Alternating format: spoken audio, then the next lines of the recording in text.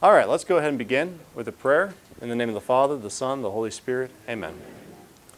Heavenly Father, we thank you for this day. We thank you for the gift of our lives. Just ask you, Lord, as we come here today, that as we come here to learn more about your movements as you shaped human history, as you came into the world to change the human race for the better, to bring about the kingdom of God into the here and now, we just ask you, Lord, to take away the weariness from the day, enlighten our minds with the spirit of wisdom, help us to understand more fully your presence within our human history and where you're still moving and acting in our lives and in the world today. And we ask all this through the intercession in the words which Christ gave us. Our Father, who art in heaven, hallowed be thy name. Thy kingdom come, thy will be done, on earth as it is in heaven.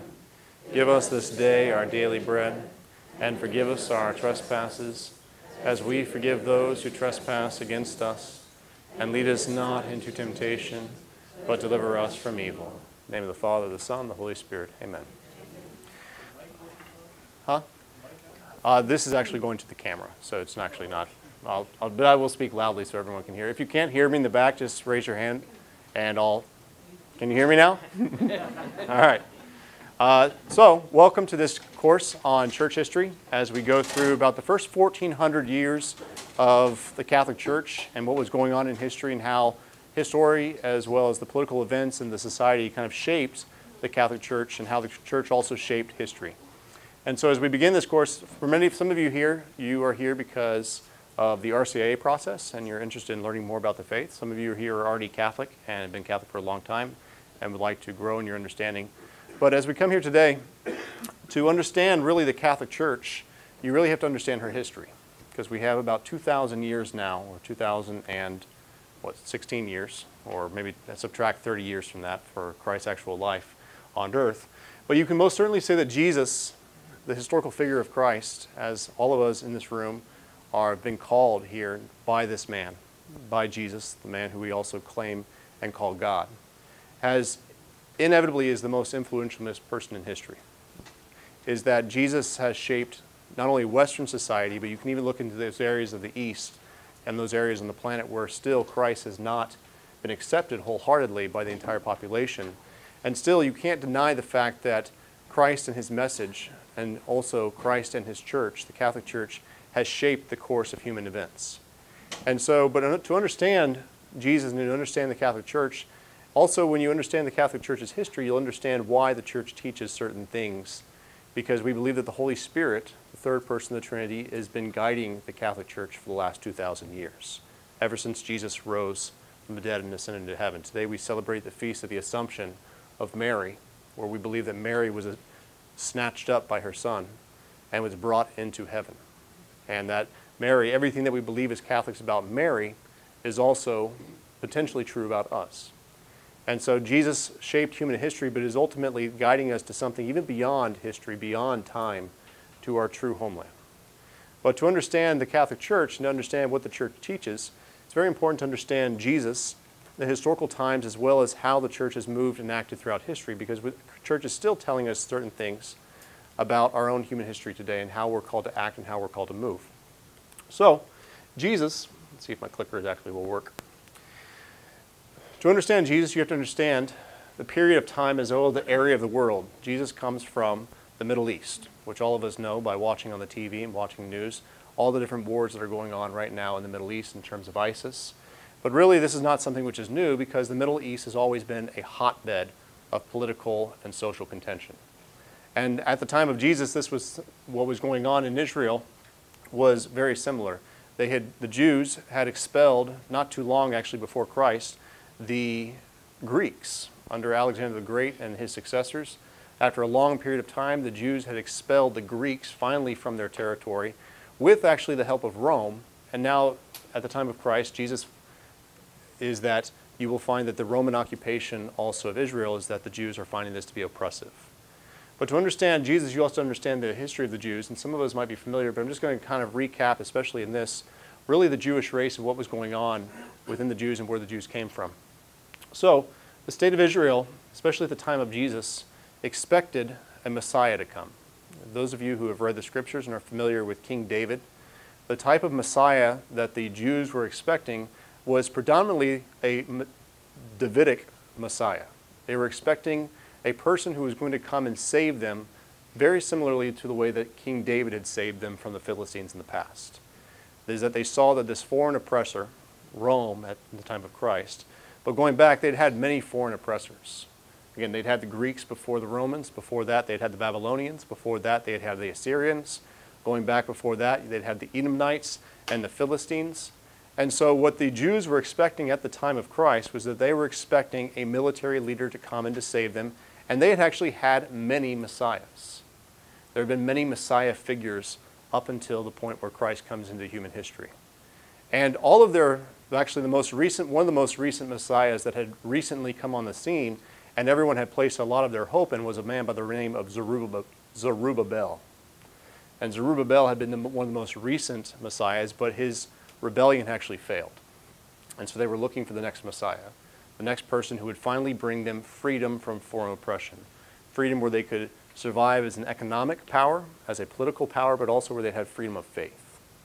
Um, and actually, for the most part, under the Romans, they had freedom of faith, but they didn't have the freedom of economy that they wanted, because they had heavy taxation. This is actually a main theme within the Gospels, is the idea of the Roman tax as well as the temple tax and all the taxes, which they found very, very burdensome. And so what they were expecting was they were expecting a Messiah to come and to free them, and this will actually explain one of the classes of peoples who were actually present at the time of Jesus. But this Messiah that they're expecting, they're expecting a military leader, a person who, like King David, had cut off the head of the Philistine. They're looking someone to get rid of the Romans. Not all of them, because the history is actually a little bit more complicated than that. But when you look at King David's empire, King David, who was the first Jewish king to establish a concrete state of Israel.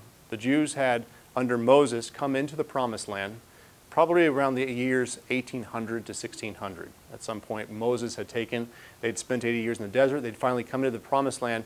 But just because they came into the promised land, they were still fighting for a long period of time with the local tribes, with the Edomites, the Moabites, the Ammonites, all the different surrounding tribes, the Philistines from Philistia, the Phoenicians, and these tribes that they will actually dispossess from the land. They will move them out of the land and they will take over they will still be in constant conflict for a long period of time until finally you have the first king of Israel, who's King Saul. And you can read about King Saul in the book of Samuel. First Samuel pretty much lays out the kingdom of Saul. Because up until that time, they really didn't have a monarchy. They were ruled by judges, which you can read about in the book of Judges, which comes before Samuel. So in that, during that period of time, though, the king, people of Israel, during the time of the judges, where they have many judges who rule them, the judges they will come and they will tell the Samuel the prophet that they, we want a king like all the other nations. Samuel will tell them, no, you don't. And because if you get a king, then you will be ruled like all the other nations. And they say, well, we want to be like all the other nations. And Samuel will tell them, God is meant to be your king. Because in order to understand Jesus, there's a reason why I'm talking about this. In order to understand Jesus, you have to understand also the Jewish understanding of the king. And actually, the reality, even at the time where they accept a first king, because the word king and Messiah are very similar, is that they are told God is meant to be your king. God is meant to be, because a king, if you open up that word king in the ancient world, a king, and this is not just true for the Israelites, this was true for pretty much all of the different nations, or many of the different nations, is that, is there a open, there's some open, open seat up there. Welcome. a king was understood to be several things. One, a king had to be the ideal, the ideal of the land, the ideal person that you're trying and striving to be like. Actually, the reason why Saul, King Saul, their first king, is chosen is because he's known to be very strong, he's very powerful, everyone wants to be like him. And so King Saul is chosen, but where they end up with King Saul is actually a person who's very selfish, a man who's very prideful, and actually a person who will lead actually the people of Israel into destruction. That's actually where King David will arise. And you can read about the conflicts between David and Saul's families in the first book of Samuel. But as they come, it's interesting because King David, when he's chosen as king of Israel, he's actually chosen specifically because he's the runt. He's chosen as the small, because he's the youngest brother. He's, the, he's not a big strapping warrior. All of his other brothers are recognized as being very large and very strapping. David is the shepherd. He's kind of sent off into the fields. He's known to be handsome and ruddy, but for the most part, He is the meekest, he's the lowest lowly of all the brothers. He has really no hopes and expectations. And this is who God chooses as the second king of Israel. To actually show the people of Israel, one, that Saul and all their human expectations are actually leading them astray. Their human perceptions of what they think that they want is not actually satisfying. Welcome. I don't know if there's any seats left, but you're welcome. So, King David, though, as David takes over, and most of us, I mean, who here knows the story of King David? A few. So, King David will take over the kingdom. King David is, for the most part, much better than King Saul, but still a man who's very broken, a man who at times leads the people astray. But David's heart is actually, David is the only person in Scripture who's called a man after God's own heart. And the only reason why David is called a man after God's own heart, because David actually breaks pretty much every commandment you can possibly break. David uh, commits the sin of adultery. He commits the sin of murder by killing actually the husband of the woman he commits adultery with. He will be also considered a betrayer. Is that Uriah the Hittite who he betrays? He betrays one of his closest friends. Uriah is not just um, anybody. If you go back and you know who Uriah was, Uriah was one of the few people who had actually followed David, King David, into exile when he was in conflict with Saul. He was actually one of his band of 30, and you can find this in the book of Chronicles.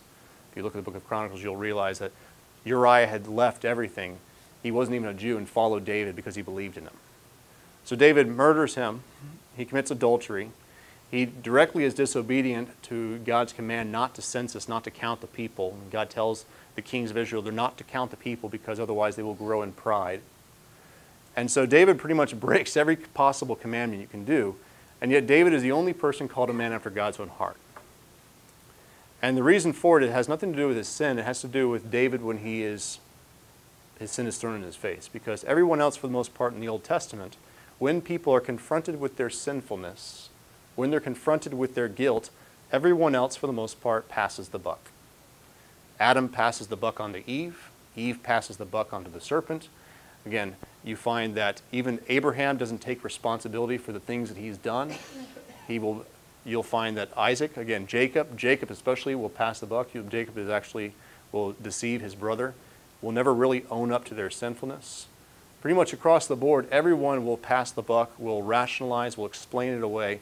David is one of the only people, actually, he's the only one in Scripture who, when he's confronted with his horrible sin, he will say, I did it. He'll say, I did it. Because David is humble. He's the humble shepherd king. He's the one person who will claim his sin. He will actually own up to his sin. He will, and he will do public penance actually for it. He will do his penance. He will actually embrace. It. He'll actually even to the point where he'll say that I deserve death. It's interesting because David's sins will actually not usually. He will not have to account for his sins personally. It'll be his sons who will have to make an accounting for David's sins. If you know the story of David, his sons will end up rebelling against him. His sons will, for the most part, take on the brunt of David's sins. And I say that because that's also indicative of who the new Messiah will come and be. Be someone who will actually parallel David, because in 2 Samuel chapter 7, there is a Messiah who, during the reign, the second reign of the monarchy, the second, uh, during the reign of the second monarchy, during King David's time, is that God will make a covenant with David. And the covenant, which is found in 2 Samuel chapter 7, it says that from the root and stump of Jesse, that the Messiah, the Savior, will be born. And it's because of David's faithfulness. It's because of David's honesty, and it's because of humility. And so this notion of the, of the king, though, and history and how the Jews will remember King David, though, they will remember King David for the most part for his military might.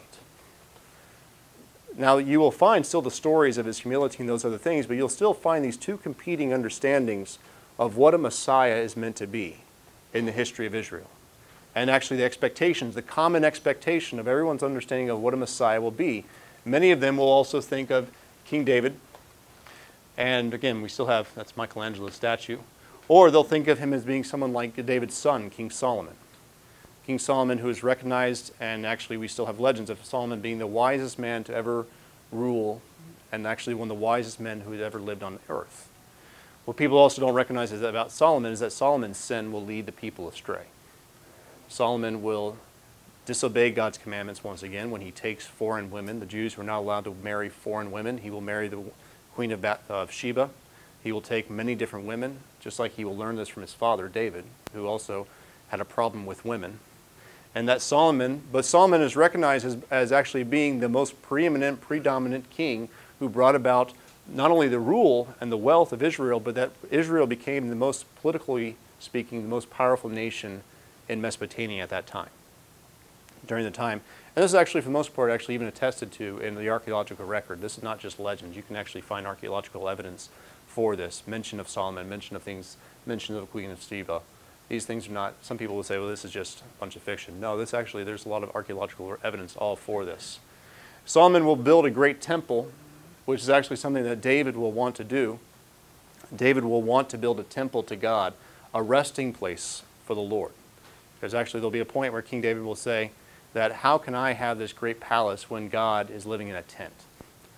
And he'll want to build a palace, but God will tell him, You cannot build a temple, you cannot build a place for me because your hands are covered in blood. You have too much blood on your hands. And it'll be Solomon, his son, who will build the great temple, the great temple in Jerusalem, which will be considered a great wonder. People will come far and wide to see this great temple. Ultimately, though, Solomon's son, Rehoboam, who will take over after him, so King David's grandson, is not wise and prudent because Solomon, in order to build the great temple, as well as to do all of his projects and to keep control over the state of Israel, will tax the people very heavily. And as a result, as most of us who don't like paying our taxes, people at that time also didn't like paying their taxes, and they will come to actually to Rehoboam right after Solomon dies and after Rehoboam takes over his, and they'll ask Rehoboam for a tax break. They'll say, please lower our taxes. And Rehoboam will say, no, I want to increase the glory of my father. I want to outdo my father, and I'm going to actually tax you even more.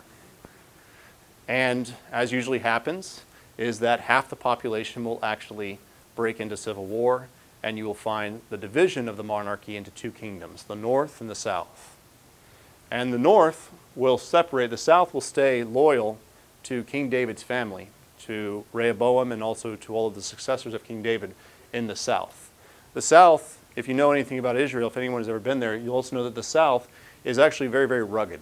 There's a lot of mountains, there's a lot of hills, Jerusalem itself, which is up right there in the center. This is one of the reasons actually that, that David will want to establish Jerusalem as the capital, because before that, for the most part, there was um, Shiloh, which was a major stronghold of Judaism, was pretty much recognized as being the capital, or one of the capitals. Jerusalem will be established right there at the center. Very similar, actually, to the reason why also Washington, D.C. was placed where it was in our country. It was right there, up at the top of the south and also at the bottom of the north to bring unity. It was one of the reasons, among many. And actually, David will place Jerusalem there and choose Jerusalem there to bring about unity in his kingdom because even at the time of David, there's still a lot of division between the 12 tribes of Israel. So, when the, south, the north will separate and the south will stay loyal to David, the north will go with, by the name, by the, will go with a king by the name of Jeroboam. And so these two kingdoms will progressively live side by side for a very long period of time and they are connected by blood and oftentimes by alliance, but there will still be a lot of hostility between the two. Not dissimilar to the hostility that existed, for instance, in our own country during the time of like the Civil War. Maybe not over slavery and things like that, but they will have actually a lot of hostility. The North, for the most part, will be very liberal. Now, this is a generalization, but to just, I'm not really going to go too much into the Jewish history, but just give an understanding of the Jewish history, because you can't understand the person of Jesus if you don't understand Jewish history. And you can't actually understand the history of the Catholic Church unless you understand Jewish history because we as Catholics call ourselves Judeo Christians. You understand the dynamics of the Jewish faith and why the Jewish faith had certain things and why the Jewish faith developed the way it did. If you understand that, then you will actually understand the Catholic Church much better because a lot of the same things which are true of ancient Judaism are going to be the same things which are true of the Catholic Church. So during this split, the North will be very liberal, and actually the North will, for the most part, not really worship God and God alone. They will repeatedly, over and over and over again, the North, who had followed Jeroboam, who had left the family of David, because one, they will no longer worship God in Jerusalem. They will worship God at lots, either in Samaria which becomes the new capital of the north, or they'll start worshiping God in all these little hill shrines. But also, alongside all those little hill shrines, they'll start be popping up little shrines to other gods. Because again, to a person who's uneducated or a person who's not very strong in their faith, they're just like, okay, well, let's, let's placate Yahweh. Let's also placate Baal. Let's also placate, let's, let's pray to Ishtar. Maybe Ishtar will answer our prayers because Yahweh doesn't seem to give me what I want, so I'm going to pray to Ishtar. I'm going to start praying to all these different foreign gods. So in these little temple shrines, you will have progressively for the next several hundred years, temple shrines which are growing up and popping up, which are worshiping lots of different false gods because for the most part what will happen in the north is that the north will worship Yahweh, but they will also become very polytheistic. They'll worship many gods. And that's actually pretty much true in the north. Um, that's why many of the prophets of the north, and if you know the prophets of the north, the prophets who are speaking on behalf of God to the people of the north, they will constantly be talking about idolatry. But see, the prophets in the north are very different than the prophets in the south. Because the prophets in the south are not going to be preaching predominantly about idolatry, because in the south, they still worship God and God alone because they still have the temple in Jerusalem. They have a central unified place where they can worship. And so they will worship God in Jerusalem. But the prophets in the south is that what will happen with this structured, institutionalized religion is that you will have corruption. You'll have corruption with the priests because one of the things actually, if you know what was actually how the temple sacrifice did, one of the reasons you went to the temple was to have your sins forgiven, is to participate in the Passover event oftentimes or to have different rituals and to get rid of your sins. Um, I was actually talking with a biblical scholar, and he actually said one of the best ways to understand what actually temple sacrifice entailed is was a big barbecue. You would come, you'd bring your meal, you'd bring your, your offering.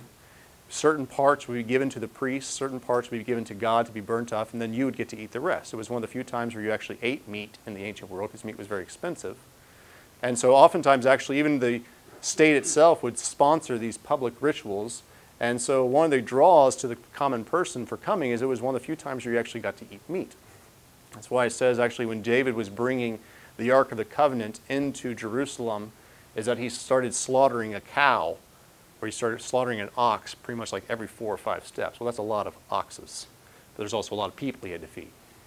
So actually that's why he also says he gave out a piece of bread, a raisin cake, and a hunk of meat, and everyone went away happy. well, that was pretty much what it was. Actually, the temple sacrifice had a huge slaughterhouse, and so actually there's hundreds and thousands of animals who are being slaughtered, and people are coming and eating them. But what will happen is there'll be a lot of corruption which is surrounding that. And so actually a lot of the prophets from the south, the prophets from the more institutionalized church, and also what you could even say the prophets who are dealing with corruption, you're going to find people like Micah. You're going to have prophets who are saying, God doesn't want all of your sacrifices. God is tired with the stink of your sacrifices because you are going through the motions. You're going through the motions, you're doing everything by the books, but your hearts are still cold and hard. And it's actually, you'll find in the South, uh, actually a lot more of talk on, especially the prophets who start talking about the poor, the subjugation of the poor. He said, You offer sacrifices to God, but you step on the widow, you step on the orphan, you step on all these different pe people. So you'll have two different trains of prophetic schools which are going on. Two different, the prophets who are speaking for God in the south and the prophets who are speaking for the people in the north. Does this make sense? Um, because the reality, the cultures are different. So it's two different messages, both of which could apply to both, but God is speaking to the people in the language and to address the needs of their particular time. Because all of a sudden, when all of the prophets of God in the north are killed, when actually a king by the name of Ahab, who marries a woman from Phoenicia by the name of Jezebel, Jezebel will come in and she will want all of her gods to be worshipped by the, Jew, by the Jews and by everyone, and she will bring about the worship of Baal, kill all the competition, which is very effective if you kill all the competition, then you can raise up, which is what Jezebel tries to do. But she has one, per, one prophet who survives, and his name is Elijah. Elijah the prophet, if you read through the book of Kings, you can read about Elijah the prophet and his successor Elisha, who the prophets also, for the most part, were not nice people. The prophets, for the most part, were the ones who were out and screaming at people or yelling at people or telling people that you're going to hell. So that kind of that traditional understanding where many people have of people like banging, those were the prophets. They were the ones telling your sins are leading you astray. You are going to destruction. And Elijah the prophet was actually probably one of the biggest ones of this because Elijah will get into this conflict where he will basically go to Ahab and he'll say, Until you return to Israel, until you return to God, to Yahweh, and worship of Yahweh alone, you will have no rain. You will have drought, and your people will die. And he says, Until I pray to God, and actually that's what will happen. There'll be a famine which will break out, and there'll be no rain for three years in the north as there's nothing which is also growing. As a result of that, when finally Ahab is brought to his knees and you have this competition between Baal's prophets and the prophet Elijah, Elijah will finally win in that duel when nothing happens. And all of a sudden he brings down fire. Elijah will bring down fire and consume the sacrifice, proving that God is the God of Israel. Elijah will then go and kill all 400 of the prophets of Baal. So the prophets are not always the most cheerful of people. the prophets are actually not usually even the happiest of people. Actually, if you were a prophet in Israel, it was more likely than not that you were probably going to be killed because the prophets were usually, and this is actually an example of this, is the prophet Jeremiah. And if you came to Mass this past weekend, we went through the readings where Jeremiah is telling the people of Israel, Babylon is going to destroy you because you have been unfaithful to God. Now, Jeremiah is preaching in the south, he's preaching in Jerusalem, and people in Jerusalem have not heard that because there's a certain point where actually, politically speaking, when you look at this is the nation of Israel, this is the surrounding ones, this is Judah, stayed loyal to David, Israel, which had abandoned the house of David, but were still Jews, worship Yahweh but many gods. You have Aram on the north, the Phoenicians, and if you know anything about the Phoenicians, they're for the most part sea traders. That's where purple dye comes from. And actually, purple dye, they had a mollusk which they extracted purple dye from. So the Phoenicians become one of the wealthiest traders in the world. We, you can still see the archaeological uh, evidence for that. The Phoenicians are up in the north. Is where Jezebel will come from. You'll have Philistia, which will be along the coast. Eventually, Philistia will be destroyed by David, but there still will be Philistine pockets. Edom, and if you know anything about Edom, Edom, the descendants of Edom, are traditionally understood to be the descendants of Esau, or of the brother of Jacob. Then you'll have Moabite, the Moabites. So when you look at these different pockets, this is the surrounding nations, all of which are for the most part hostile to the Jews. Hostile, they're not called Jews at this time, they're called Hebrews. So at this time, they're hostile to the Hebrews, not unlike the surrounding nations even to this day that are surrounding the state of Israel and are still hostile to the Jews or to the Hebrews. Obviously, you have Egypt down here. What will happen, though, in the year about the year 650 is you'll have the rise of an, of an empire called the Assyrians. The Assyrians are one of the first persons to make use of the compound bow. So in technology, in terms of technology of weaponry, usually is the advent of various empires the Assyrians will make use of the compound bow, and actually they'll become very, very successful, and they'll take over, and this will be pretty much where the entirety of their empire will take over, and you'll see that Israel falls right into that. They will actually not take over the state, the southern kingdom. The southern kingdom being more hilly as well as mountainous, much more difficult to take the south. But this north tended to be much more flat. So actually you could steamroll an army across the north, which is actually what will happen. Um, the Assyrians will come about, and that, that's where you will also find the destruction of the state of Israel, the northern kingdom, um, around the year 650. Um, so, the next empire to come about, about 50 years later, will be the rise of the Babylonians. Babylonians will make widespread use of siege engines and things like this. Um, they'll be one of the first to really use siege enginery uh, effectively. Um, the Assyrians had used it, but not as effectively as the Babylonians. The Babylonians will come and will make siege against Jerusalem, and their siege engines will eventually be able to topple Jerusalem, where the southern kingdom will therefore fall. And this is what's called the first is called the Assyrian exile, the second one is called the Babylonian exile. Does this make sense? Now, the common thing that happened when you had a civilization that came through and conquered an area is that what you would have is the conquerors, the conquerors would take the wealthiest people, as well as anyone who was a skilled laborer. So anyone who had any type of skill whatsoever. They would take all of those people and they would deport them and bring them back oftentimes to their main cities. and they would enslave you. And then you would be a skilled laborer. They would have things like that. And therefore, the, but the people who were poor, or people who had no, who had no skills, they would leave there. And so, any, pretty much what will happen during the Assyrian, the first destruction of the northern kingdom, they will take out all of the different wealthy people, they will take out the population, they will plunder the land, and they will only leave the very poor. And then the very poor, left without their priests, left without their leaders, left without their king, and left without their military, the poor, what will actually happen is that the surrounding tribes will come in and will start moving into the land. And those poor people in the north will actually start intermingling and intermarrying with all of the nations. And so, from the perspective of the people in the south and Judah, is that what these people do is that not only have they abandoned God and David, the house of David, a long time ago, but now they've actually even intermarried and they've lost their Jewish identity. And so these half breeds, what will actually come about, you'll have this half breeds of people. You'll have this half breeds, and these half breeds who are considered to be, again, not full Jews. Actually, they're considered half Jews, but not really even Jews because they don't practice the faith. This is actually what's referred to as the Samaritans. The Samaritans will be this lower echelon of people who are left behind by the Assyrian exile, who had lost their faith, who had intermingled with the nations, and actually they will be despised by anyone who retains their faith. Does that make sense? so in the south, though, when they come to the south, because Nebuchadnezzar, who is the king of Babylon, when if you were actually, and that's what Jeremiah, the prophet Jeremiah, is actually encouraging everyone to surrender which is why actually the princes will say he is demoralizing everyone.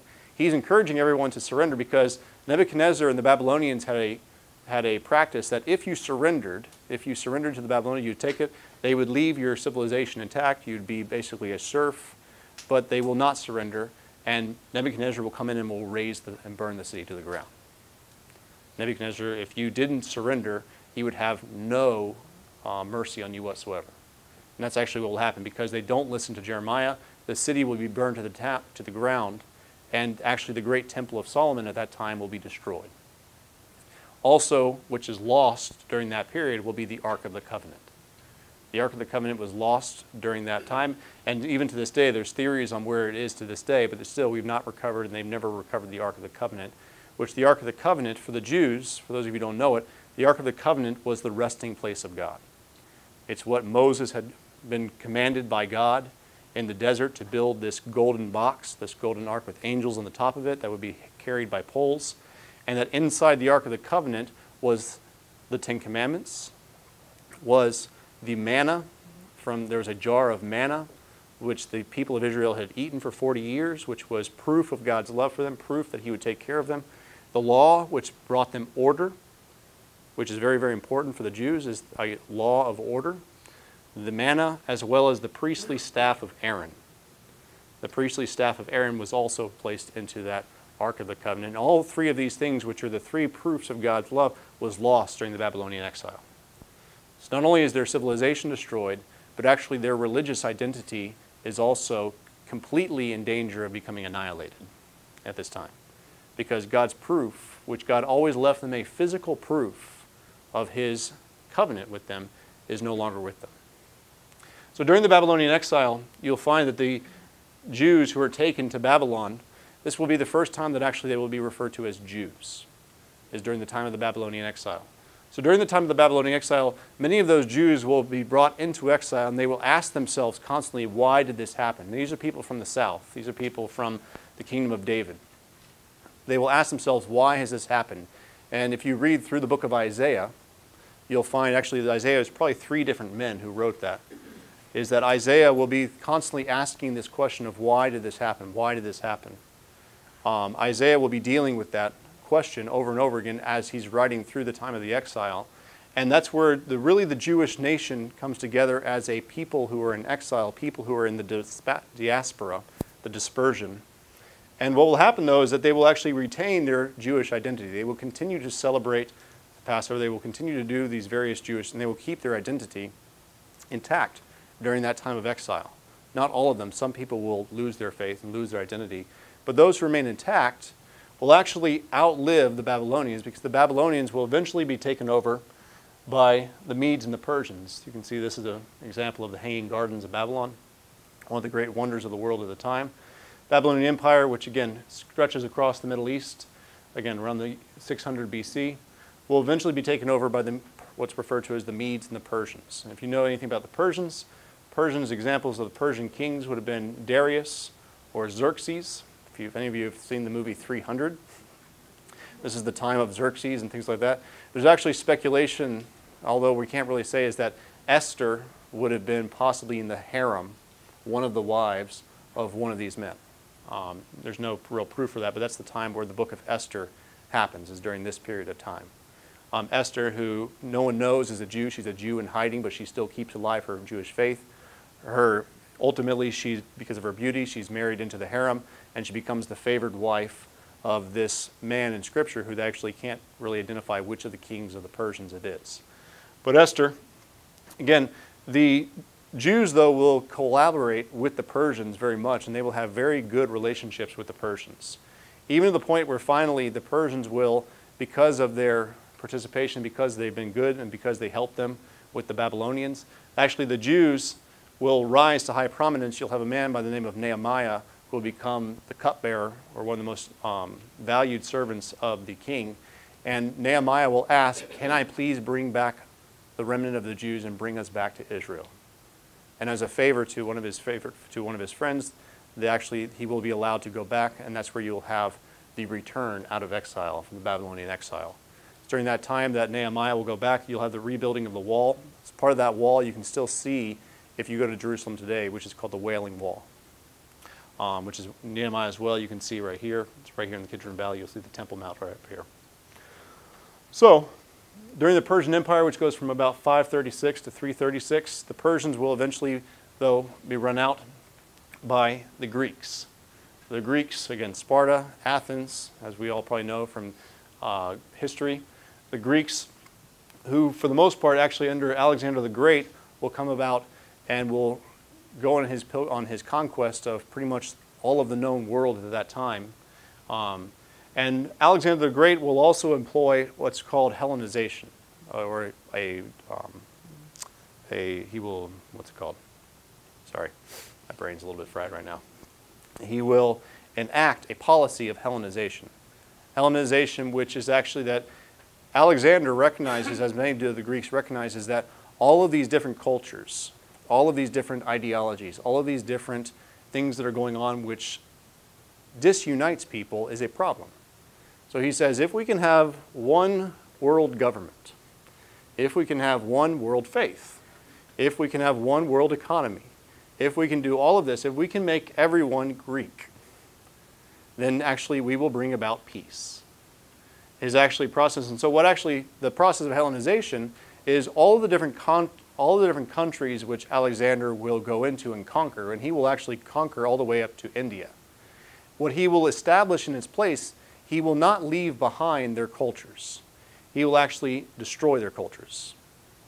Um, he will allow for some limited things, but actually, for the most part, he will start building gymnasiums, which is of a Greek nature. He will start employing the Greek Roman. You have to worship the Greek gods. All of these different ways and trying to unite all peoples together because he recognizes that religion, politics, and culture are very, very divisive. He's actually a student of the great philosopher Aristotle. Aristotle was actually Alexander the Great's one of his tutors. And so Alexander, who's very smart, though, again, eventually he will die. Once he gets, he will get struck by an arrow and he will die young. Um, and once he dies, his kingdom will be separated and will be split into all of his warlords.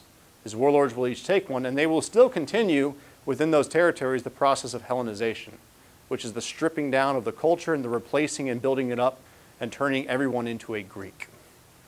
Um, and actually, it will be very, very successful across the board. There will be one area, though, where it will be disastrous, and that will be in the state of Israel. Because in the state of Israel, where it's fundamental to the people who are there, the returning Jews who come back from Nehemiah and things like that, when the Greeks come in and they conquer Israel, and then they start trying to employ and to Hellenize the, the Jews, is that the Jews will go into armed revolt, will go into armed conflict. And that's actually, if you look at the book of Maccabees, you open up the Catholic Bible, and this is a distinction between the Catholic Bible and the Protestant Bible, is that the Catholic Bible has what's called the Deuterocanonicals, or some people might call the Apocrypha. So if you look in the book of Maccabees, which is part of the Deuterocanonicals, you'll find the story of what goes on during that time. Because we also see that God's hand is still moving and acting through that time.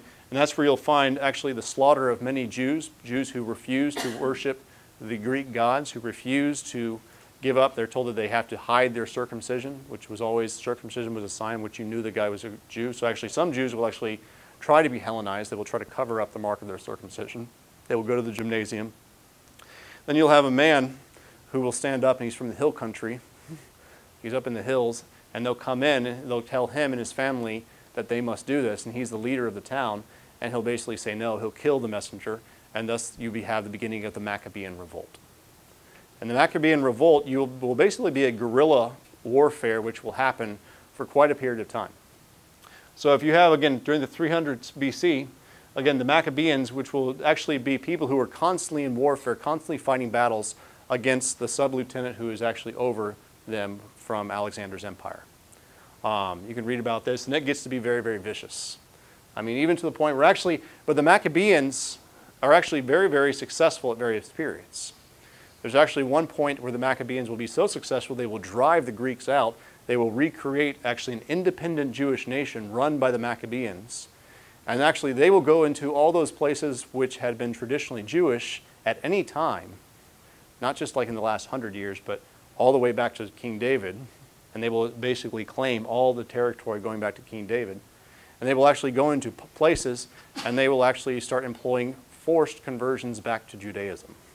They will actually be forced, uh, forced circumcisions of, of young males who traditionally should have been raised Jews, and they'll say, well, these are now Jews and they will actually kill even some of their parents and things like that. You'll have forced conversion. So it's a very bloody time of warfare. And actually, the people who actually they will actually convert, some of those forced conversions will actually be where a man later rises out. Um, people who, see, even when they had the forced conversions, there's still the Jews who will say, well, these people were forced, they're not really Jews.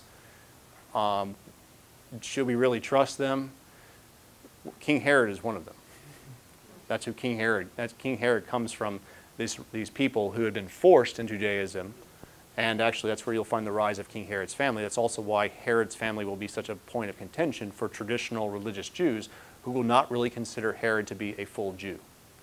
If you go into the scriptures and are trying to understand who King Herod is. Does this make sense? So, again, Alexander's empire will be the greatest empire at, the, at that time, which will stretch all the way into India, going across Mesopotamia, all the way into parts of Africa. Again, eventually, the Greeks will lose power, obviously, to the Romans. And so the Romans, again, anyone who's seen any of the gladiator films or anything like this knows who the Romans were. The Romans were known for various things, but probably the thing which the Romans are known for the most and why the Rome is, every different civilization has something new to offer, which is one of the reasons why. So the Assyrians had a compound bow. The Babylonians had access to siege engines. The culture as well as the education of the Greek enabled them to have such success.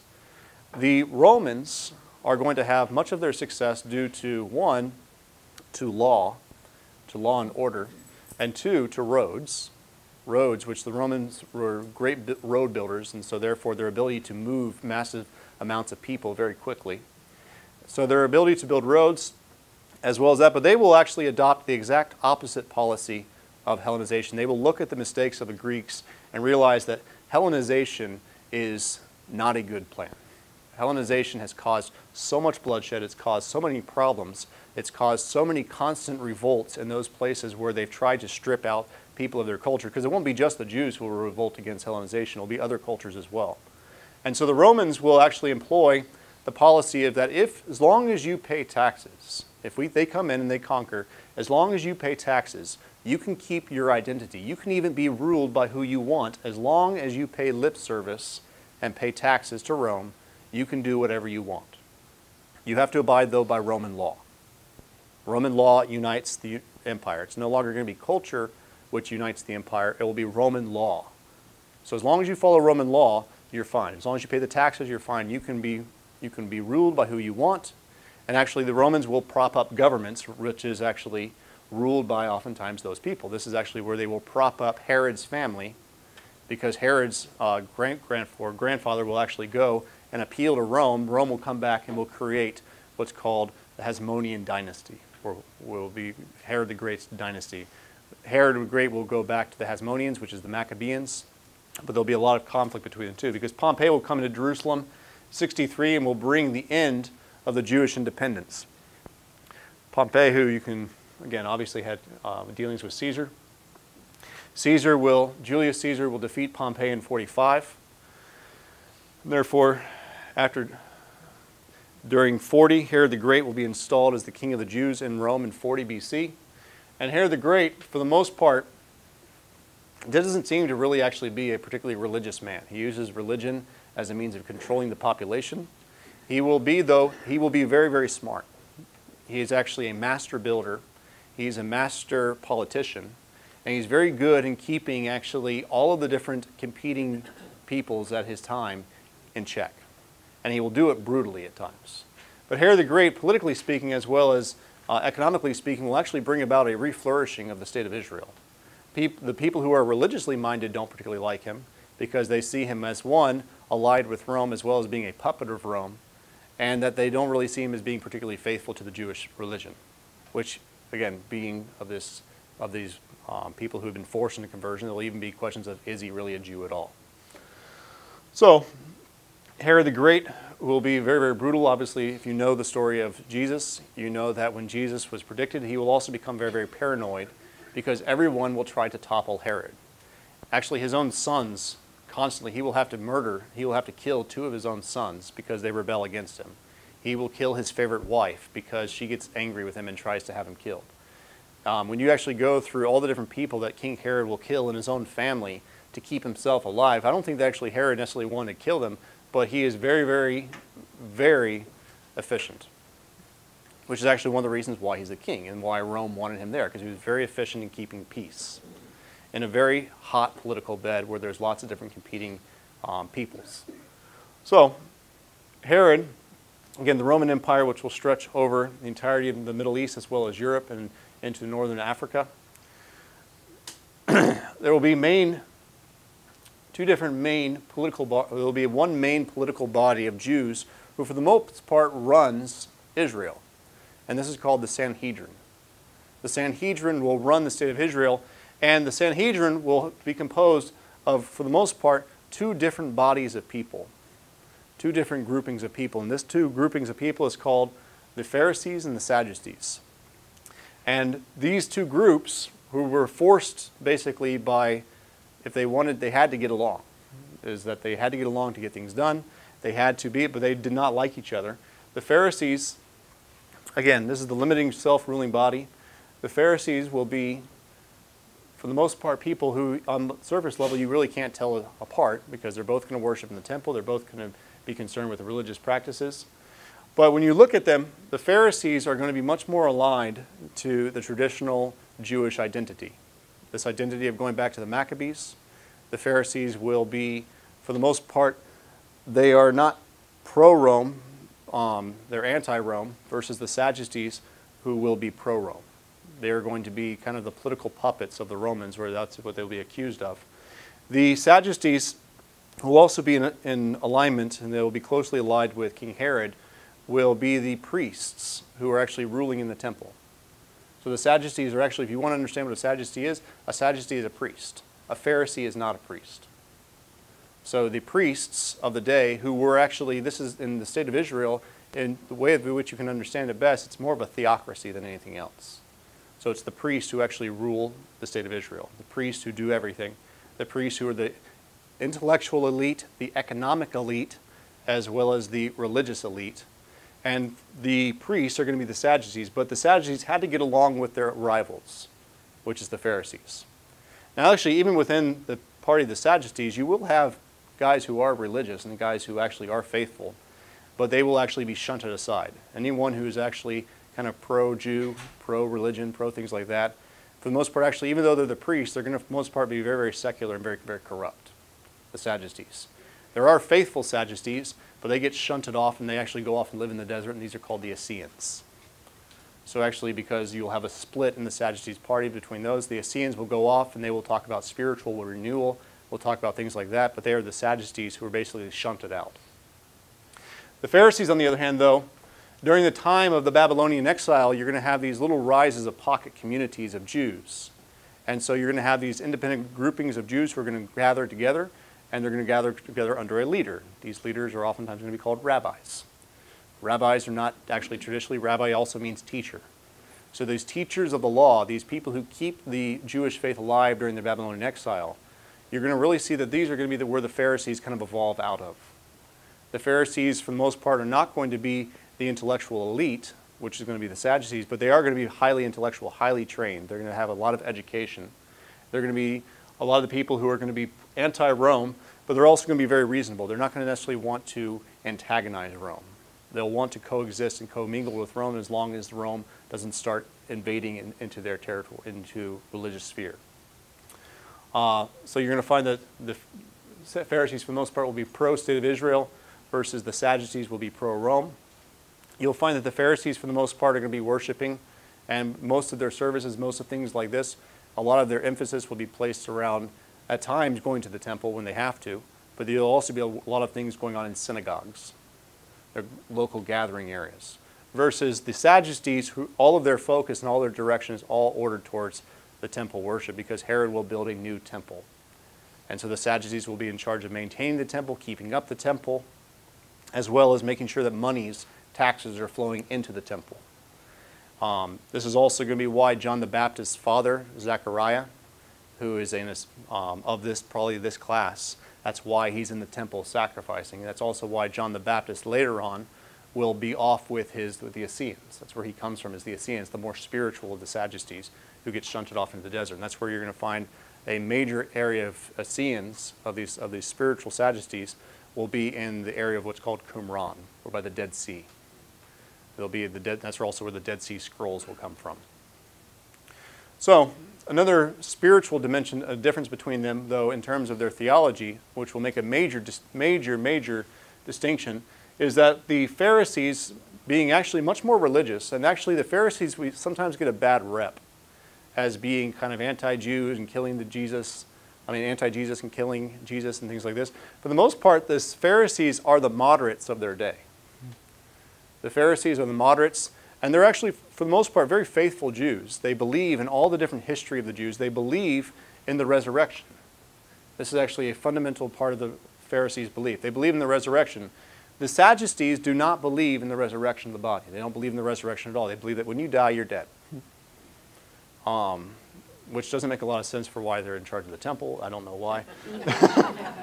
but still, but it's a very different, when you're talking about Jewish priests, it's very different than the understanding even of our priests today.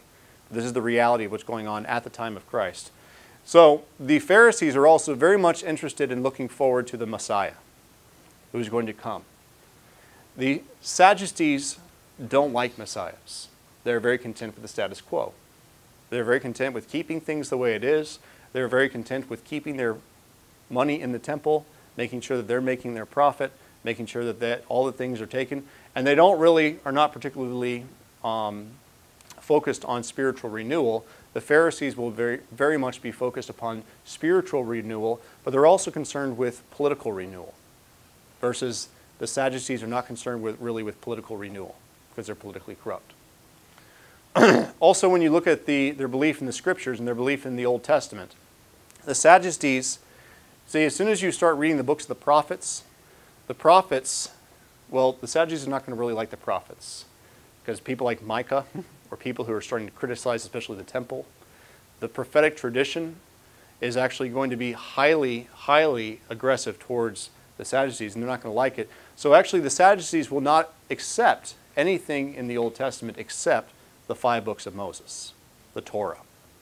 The Sadducees will basically only accept the Torah. They will not accept anything outside of the Torah. They will not take into account anything of what's called the writings or any of the um, prophets. They will deny that this is the Word of God. They'll say this is not the Word of God. The Word of God is only the law.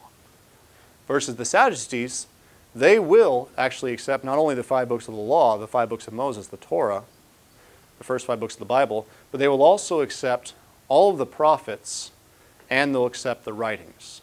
So actually, when you look at what the Pharisees actually accepted at their time, they will accept what is classically understood to be the Catholic Old Testament. And actually, the reason why they will do they, I say this, the Catholic Old Testament, because again, going back to that understanding of what was actually being used commonly, is that during the time of the Greeks, the Greek emperor, one of the Greek emperors, I forget his name, asked the Jews in the diaspora, asked the Jews who had been separated, and they asked their leaders, Can you please, for the Library of Alexandria, compile your different holy writings and put them into Greek? So actually, there will be 70 rabbis or 72 rabbis who will meet together, and they will meet together and they will actually compile this book of what's called the Septuagint, which is the Old Testament, all the, all the books which they consider to be the Word of God. And they will compile into the Septuagint this and that's why it's called the 70, because it's about the 70 rabbis who bring them together. They will translate it. Again, there's legends which go along with the Septuagint. I'm not going to get into that so much. But the Septuagint will be written in about in the 300s, and the Septuagint will be used actually by the Pharisees extensively as well by many common people. And we know for a fact that St. Paul used the Septuagint and that he considered it to be the Word of God because he preaches and quotes directly from the Septuagint. So this Septuagint, which actually had the writings, the prophets, as well as the Torah, will actually be kind of the main way in which what the Pharisees will consider to be the Word of God. Does this make sense?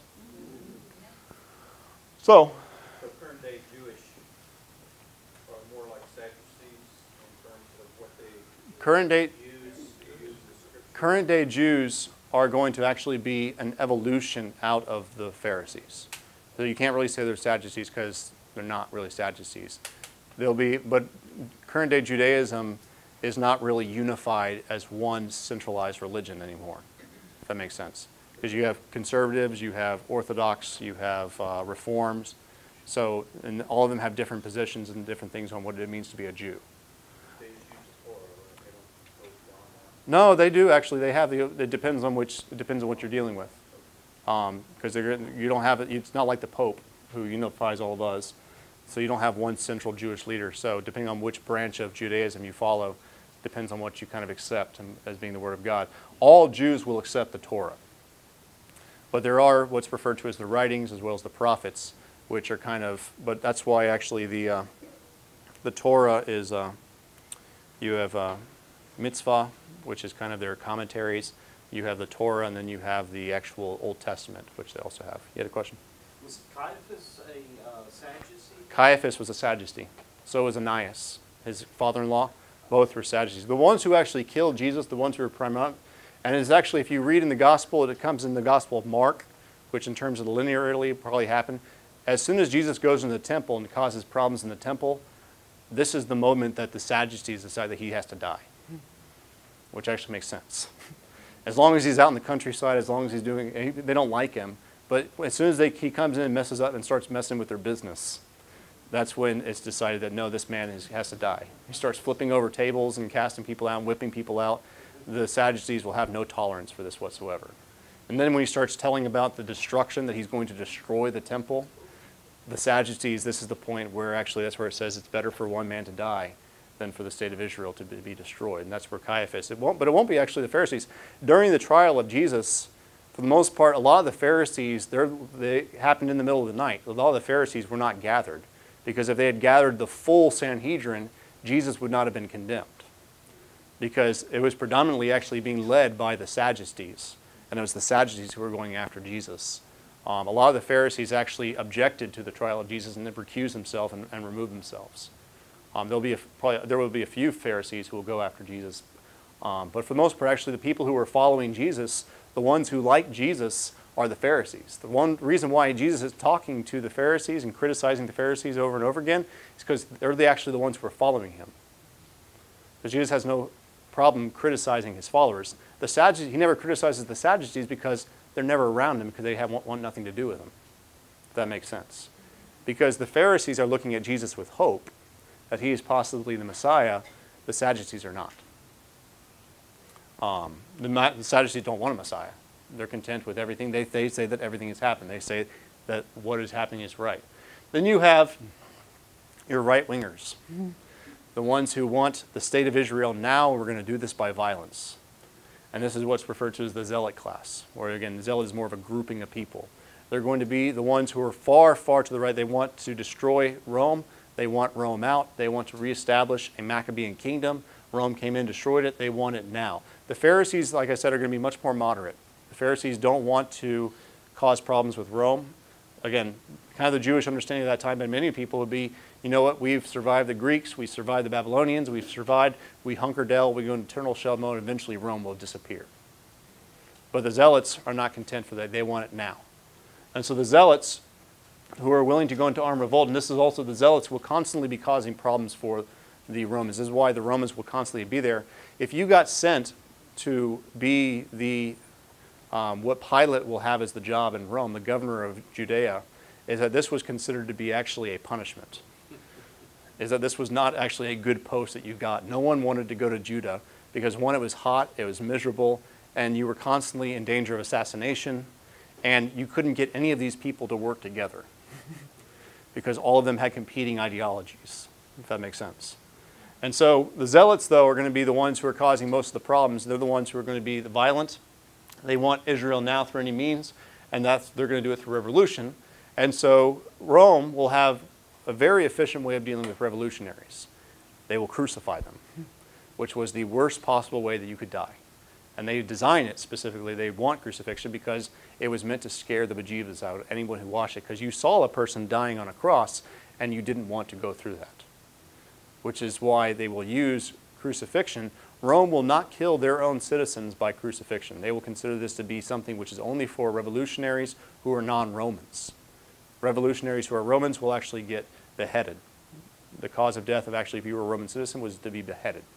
If you were not a Roman citizen, though, you, and you were deemed to be a revolutionary, you would be crucified.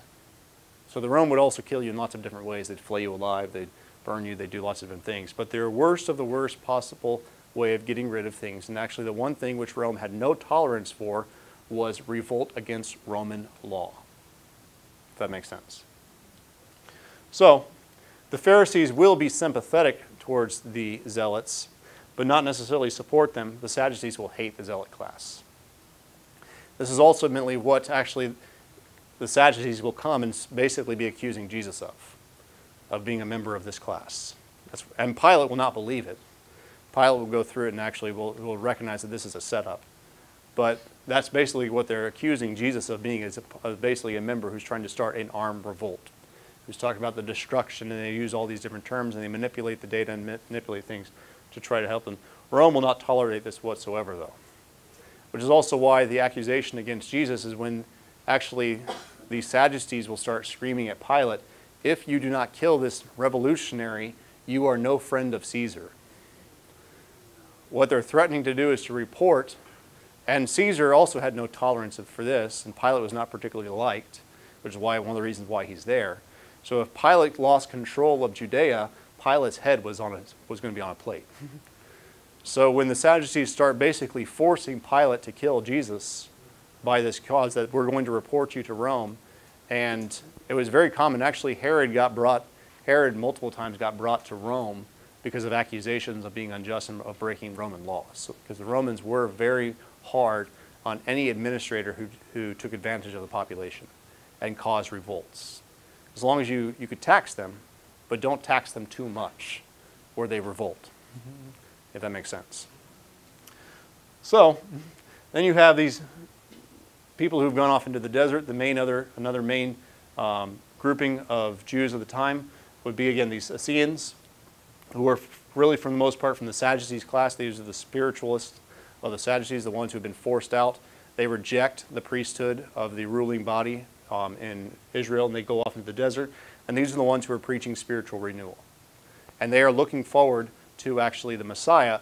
But the Essenes' expectations of the Messiah, the Pharisees will expect a physical, political Messiah. The Essenes, for the most part, will not. The Essenes will actually be much more of what's referred to as a spiritualists.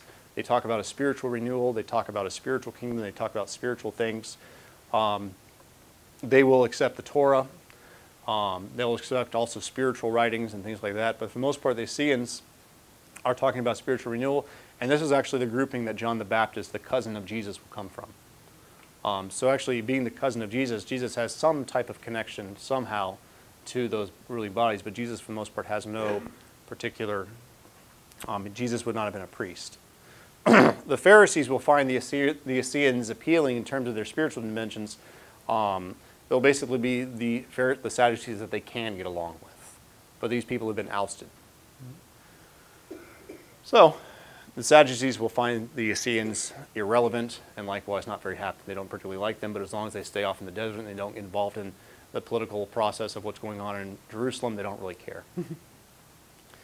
so, Jesus of Nazareth, when Jesus comes into the world, obviously as Christians, we believe that Jesus, again, if you read the Gospel of Luke, you see, again, the Annunciation. Jesus, again, comes into the world, God becomes man, takes on human flesh. A few indisputable facts about Jesus. There's no real serious scholar today who, dis, who disputes the historicity of Jesus the man. Uh, there's a lot of facts, obviously, and there's a lot of things about Jesus that people will obviously have opinions on, and that people will debate, and people will um, say that this didn't happen or this didn't happen, this was exaggerated by Christians, this, so, forth and so on. There's numerous debates on Jesus and actually what he actually said. I don't know if you know this, Thomas Jefferson actually went through a Bible and cut out the actual phrases of Jesus, and that's all that he would actually look at because he didn't want anyone, anything other than Jesus' actual things influencing him. Not that even Jefferson really even believed that Jesus was the Son of God because he was a deist. He believed that God created the world and then kind of like a clock, he spent it off and left it. But no serious scholar really debates the historicity of Jesus. Jesus is attested to by the Jewish historian Josephus in the first century. Again, the Roman historian Tacitus also refers to Christus, to Jesus, as being a historical figure, and also his followers. Usually, actually, in, in, the early Christian period, if you were referred to as a, as a follower of Christus, it usually meant that there was problems happening because Christians in the early church, or in the early periods, were always surrounded around controversy because there was always big, huge fights which were blowing up. Oftentimes, that ended up bloody. Mm-hmm. And so Rome, which had no tolerance for any type of rebellion or any type of infighting, would come down hard on the Christians. But Jesus, direct apostles, and obviously Jesus' own disciples will also attest to the historicity of the man. So, three different sources which look at Jesus. Again, the 12 apostles will be primary figures in the early church, um, all of whom you can find. So, the undisputed historical facts which are agreed upon by both Christians and by non Christians are the birth, that Jesus was born um, at some point between um, zero or between whatever you want to call it, but I, I, still will call it AD and BC. So Jesus was probably born around the year 3, 3 AD, 0 to 3 AD.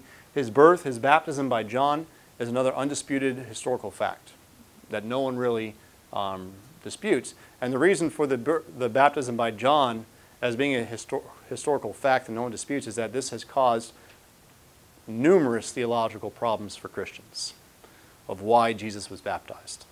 We'll get into some of that um, later, but Jesus' baptism by John is something that everyone recognizes because it has caused so many problems for Christians that Christians would have liked to possibly have swept this under the carpet, would have liked to have ignored this because it causes a lot of problems. And that very fact actually proves to its actual historicity in terms of things that no one really disputes in terms of Jesus' actual what happened in his life. A lot of people will dispute parables, they'll dispute sayings, they'll dispute actual events.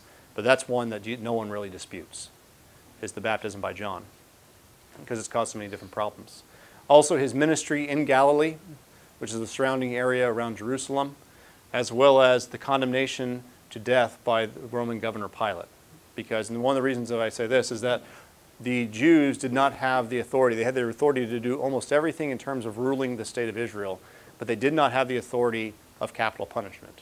The Romans had regulated that, that to themselves. You had to go to the Romans if you wanted a capital punishment case. And the Romans would then kill you because this fell within Roman territory and Roman law. So the condemnation to death by the Roman governor Pilate, another undisputed historical fact, and also his crucifixion. It's another thing which is an undisputed historical fact.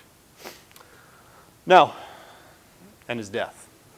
The disputed historical facts, debated historical facts, but I would also say that there are facts. Obviously, you're in a Catholic church, so you're going to get some of this, is actual teachings which you can find in the scriptures. The concrete dates, again, the dates are hard to pin down because they didn't have the same um, uh, timing of history and things like that. It's not like they had AD or BCE or things like that. Basically, all the dates at that time, for the most part, were chronologized by in the year of this Roman governor, so forth and so on. That's why actually that's how it even says in the Gospel, I believe, of uh, Luke. It says in the year of this Roman governor that this happened. So the concrete dates are always again disputed.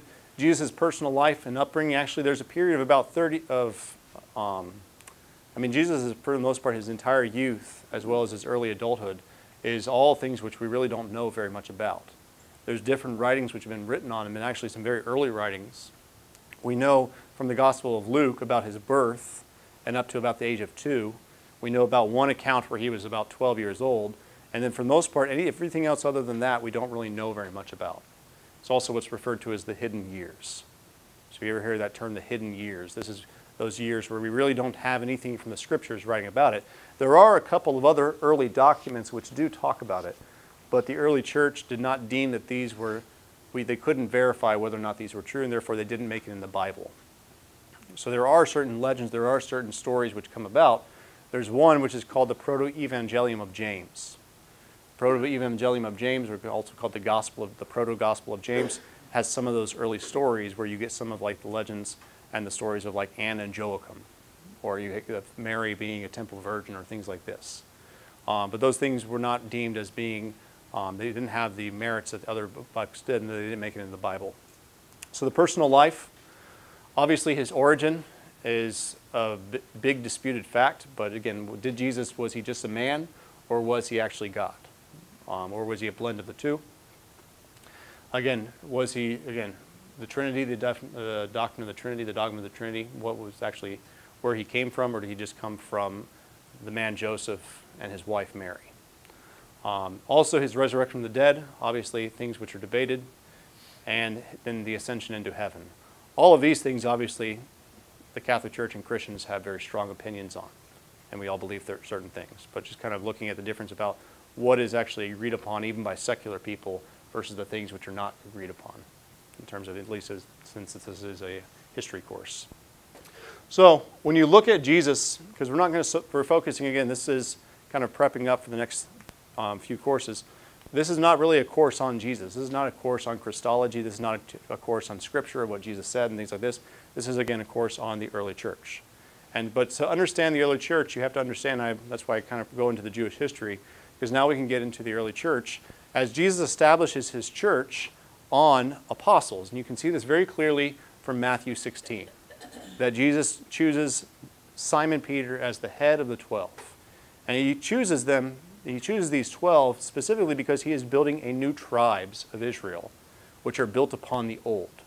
So the 12 apostles will now be symbolic representatives as well as real pillars of the new church. They will be seen as the new 12 tribes of Israel.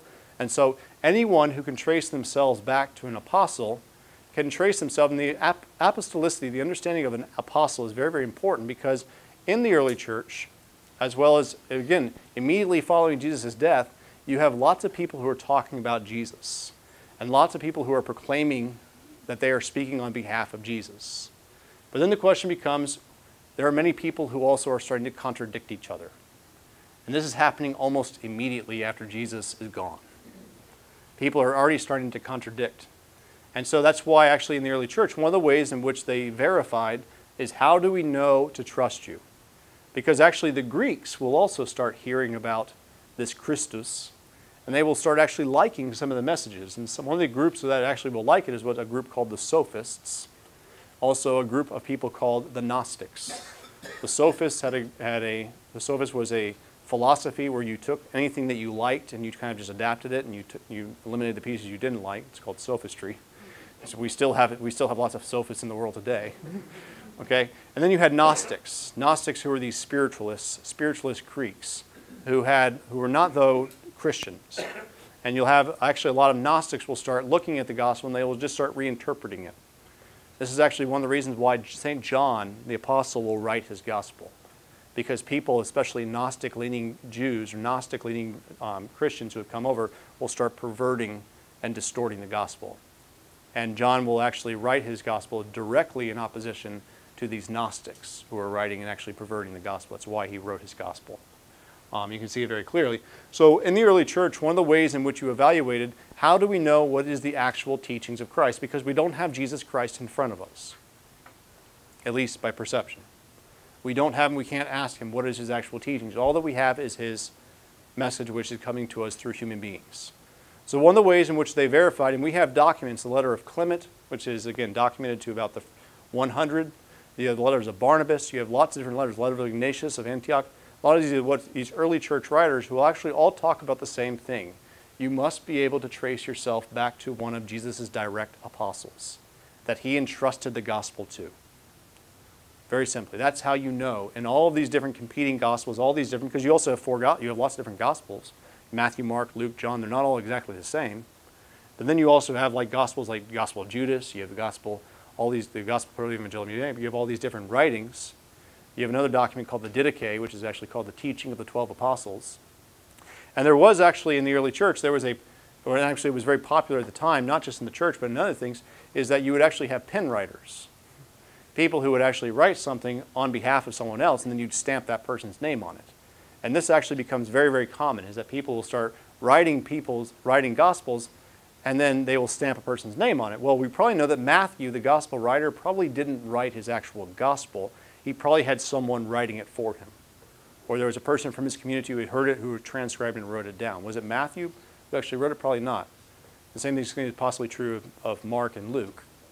The only gospel actually we're the most sure was actually written by one of the actual apostles, if any, was the Gospel of John. John is probably the most sure that it was actually written by John himself because it's so weird. but the other gospels are, again, so, but it was very common you just stamped an apostle's name on it to give it authority, to give it credence, to connect it back to Jesus himself.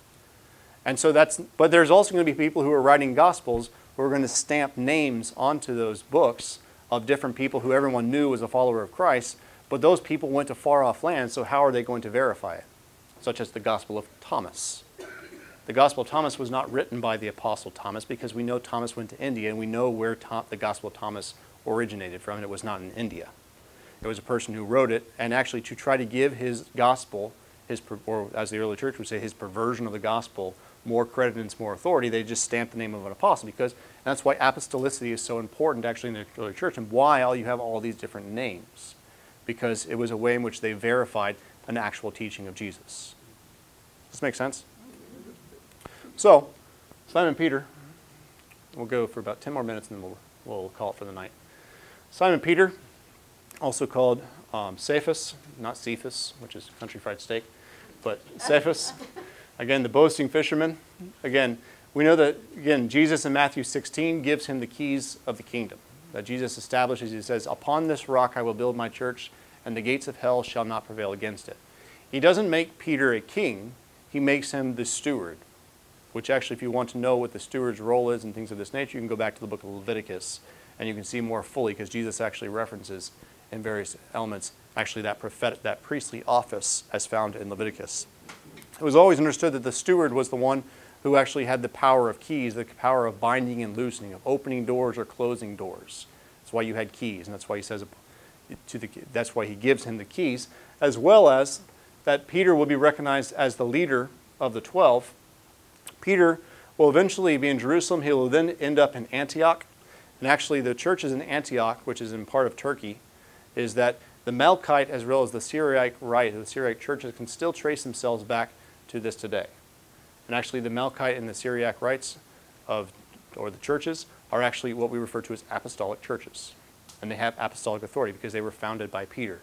Peter will obviously eventually end up in Rome, where he actually, with St. Paul, will establish the church in Rome. This will be his final resting place. This is where he will finally, eventually die as he's crucified. And this is where the Catholic Church traces itself back to in terms of an apostle that we trace ourselves to. Because when you look to Rome, we know that he went to Rome. Eventually, he was dragged there and taken there, and that's where he would eventually be um, executed in the reign of King Nero, or of Emperor Nero um, where he will be, according to tradition that we have, he's crucified upside down. And actually, even to this day, we have his relics, we have his bones, which are actually in a little small church at the bottom of St. Peter's Basilica. And you can actually go there. You have to have about a six month reservation to get in to see it. But it's called the Scavi Tour. You can actually go and, and see it. Um, seminarians oftentimes are the ones who go and, you uh, can do a Scavi tour and you can see it. And we know this because ever since the beginning, one of the ways they would always keep the remains, just like we keep our beloved remains, the early church did the same thing. They'd keep the remains of their beloved dead, and they will actually end up coming and praying at those tombs. And thus, you'll have actually the beginning was referred to as the veneration of relics in the church, because people will then start coming to pray around those tombs, and therefore they will pray around the tomb of Peter. That's how we know, because we found a box which said this is the of the fishermen, and inside was actually a man who they can they've done a bunch of dating on those bones. It goes back to a man from Galilee who somehow his bones end up in Rome, and that his hands that the hands are actually hacked off. Because the more common practice when you were crucified, which is how we know that Peter was crucified, is that you wouldn't pull the nails out. You just the soldiers would just hack your hands off, hack your feet off, and they'd take the corpse off the cross. Which is actually the very fact that Jesus was taken down off the cross, and probably the reason from a historical perspective for why Jesus, his hands and feet are not hacked off by the Romans is because his mother is right there. His mother is right there, and they probably had mercy on her, which is the reason, again, from a practical standpoint, for why don't the Jews do that to them? Because one, it's predicted that not a bone of his body will be broken, but then two, again, Mary's right there. He has his family right there. Most of the time, when you had a crucifixion, the family was nowhere to be found. And the Romans, again, at least we know that one of the Romans, a man by the name of Longinus, had mercy and realized that this was wrong. That's where you find in Luke's gospel that it will be um, most likely the man Longinus who will say, Behold, I truly this man was the Son of God. Um, but Peter will, Peter will not be so lucky. Peter will go through a traditional crucifixion, although he will say, I can't, I'm not worthy to die the way that my Lord did, and so the Romans will crucify him upside down. He'll be hacked off. We still have his bones to this day. This is where he's actually, before that though, Peter still always has a struggle with his faith and a struggle with doing the right thing because during the time of Nero, Peter will try to be escaping from the city because he doesn't want to die. Because actually, usually when it came to suffering, if you read the scriptures, you'll realize that Peter didn't want to suffer. This is Peter's big cross in his life is the call to suffering. And Peter tried, at usually at actually every conflict, to usually avoid suffering.